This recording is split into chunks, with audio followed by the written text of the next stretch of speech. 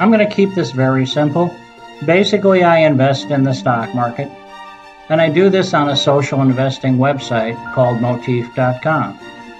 People saw how good I was at it, so they asked me to let them know when I've got a motif that might be of interest to them.